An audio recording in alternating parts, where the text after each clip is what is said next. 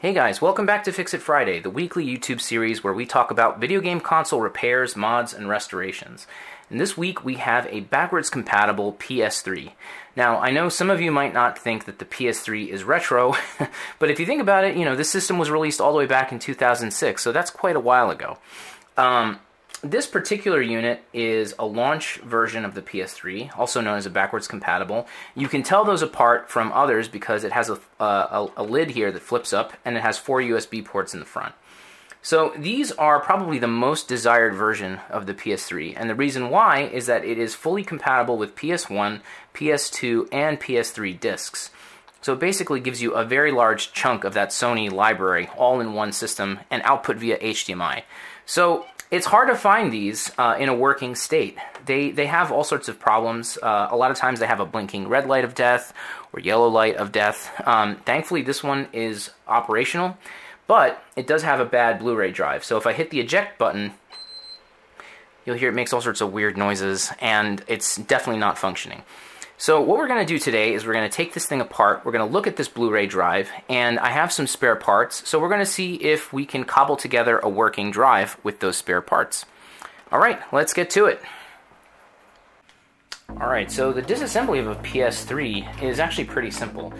Um, there's one security screw here on the side, and normally there's like a warranty sticker here and a rubber little stopper as well.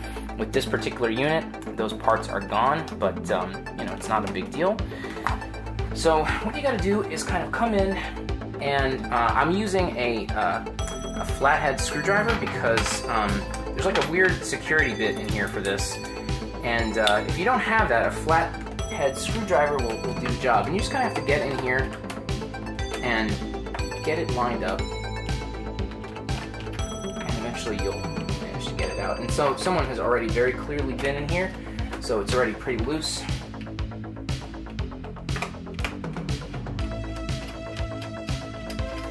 There we go. All right, now once that's out, you kind of take the lid, you push it this way, and then lift it up. And now we've got the first layer of screws to remove. And thankfully everything else in this system just uses standard Phillips, so it's not a big deal.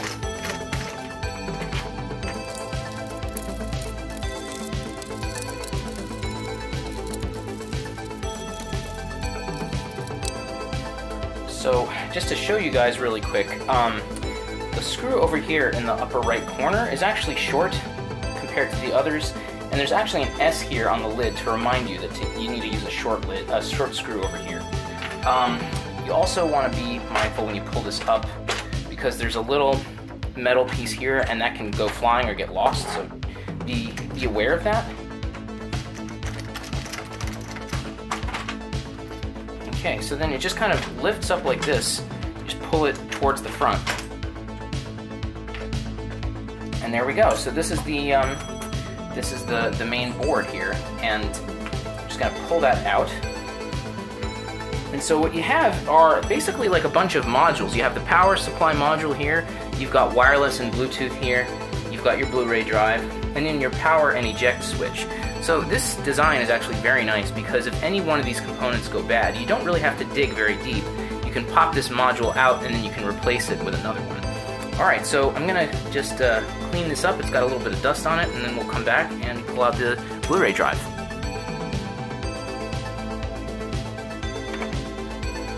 Okay, so removal of the Blu-ray drive is actually pretty easy because it's not locked into place with screws or anything like that. It's just uh, held in place by its size. So you'll see here there's a little ribbon cable here. This is just, I think, the power supply for the for the drive. So you just pull this up, and that's it and then you lift the drive and you rotate it outward like this and then this ribbon cable is what connects it over to the main board. And so there's like a little retaining clip that holds it in place and with your fingernail you can just gently lift it up. Uh, be gentle because if you push on this too hard you'll remove the clip. And then getting it back in is really not fun at all. So this is probably the only difficult step in this repair. So yeah just pull that up pull out the ribbon cable, and that's it. So now this drive is loose, and uh, we're going to take it apart and see what we can do to get it working. Okay, so I have um, now got two Blu-ray drives here. This is the original one that was in the system, and this is one that I pulled from another backwards compatible PS3. This is one that had a blinking red light of death and is probably not going to be easy at all to save. Uh, so what I'm hoping is that this one has a good working drive and laser, and maybe I can just switch these guys around and see how things go. So now, in older consoles, um, drives were easier to switch because the main board had no connection to the drive, so I could literally just pull one out and pop one in. That's not the case with the PS3. So when you flip these guys over, they have a controller board here. Now these controller boards are actually married to the motherboard. So so this this is the one that came out of the unit. So I have to actually take this board and swap it with this one in order to make everything work out. So um, thankfully that's not very complicated. Um, so what I'm going to go ahead and do is is show you how to disconnect one of these and then do the swap. And uh, yeah, like I said, I'm hoping that the laser inside of this unit is good. And then um, we can just go ahead and uh, just swap out these controller boards and, and see how things go. All right, so first thing you gotta do is remove these ribbon cables. Um, so there's three of them here, and you just lift up these, these little retaining clips and pull these guys out, not, not complicated. And then there's one here on the side. And there is a little power uh, plug over here too, but I usually save that for the end because it's very fragile and easy to break.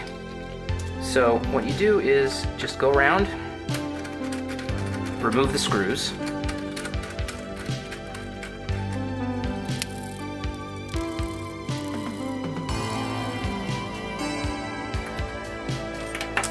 Okay, and that's about it. So now you just lift up like this, pull it out, and bear in mind you're still attached, so you gotta just hold on to the to the wire here, and then just pull, and now that guy's free completely. So I'm gonna go ahead and do this to the other, um, the original drive, and then I'm gonna switch boards, and uh, let's see how things go from there. Alright, so I'm back here with the bad Blu-ray drive, and what I want to do with this, uh, I don't actually need to do this for the repair, but this is more just for instructional purposes, is I want to just kind of show you how to open this drive and replace the Blu-ray laser, because sometimes, you know, you can, I think you might be able to purchase the laser itself. I haven't tried that yet, but I'll bet you that it's still commercially available because this console isn't that old. And so if that's the case, then and you don't have access to a donor like I did, you could potentially still get this thing working by buying a new laser. So you see that's how the um, the top of the, the lid comes off. And, uh, and then this is also free now. So you just have to kind of lift it like this and remove the tape that's attaching these ribbons to it. So now you can see the laser over here. Um, so now in order to gain access to it, what you gotta do is remove five screws on the top. And then this is the magnet. You can just set this off to the side.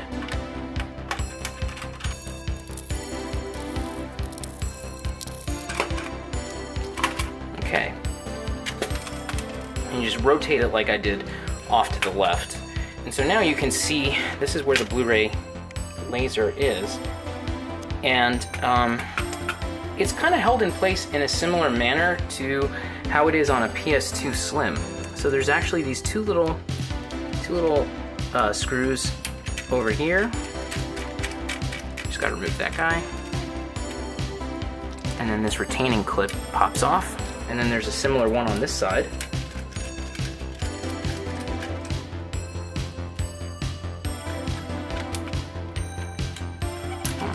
There we go. Now, this rail is open. So now you can just pull it out and this is just attached by some tape. But there we go. So now this laser is free. And so if you're able to purchase a replacement, all you have to do is now pop it in and uh, you might need to reattach this retaining clip and this retaining clip and then just reverse all the steps to get the um, you know, drive reassembled. So I'm gonna set this aside because this might still be a working laser. I'm not sure if this drive has a problem. I think this drive has a problem with the mechanisms. I'm not really sure if the laser itself is bad. So I'll try to test this separately. Alright, so let's get back to the reinstallation and testing of this PS3. Alright, so I have reassembled the uh, PS3, and uh, so now I'm ready to start testing things. And uh, so yeah, with a backwards compatible PS3, you've got to test four separate discs. You've got the PS1 discs, the PS2 DVDs, and the, the, the PS2 CDs, which are blue. And then you've got, of course, PS3 discs. So now I'm going to go ahead and just test each one of these one by one and see if it loads up.